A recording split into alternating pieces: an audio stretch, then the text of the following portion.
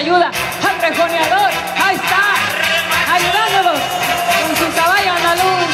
Agárrese fuerte, no, mira nomás qué caballazo.